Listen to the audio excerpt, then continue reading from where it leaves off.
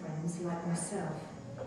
How he made her lose her self-confidence so she became a simple woman toy to be manipulated by him. And I start to laugh about him.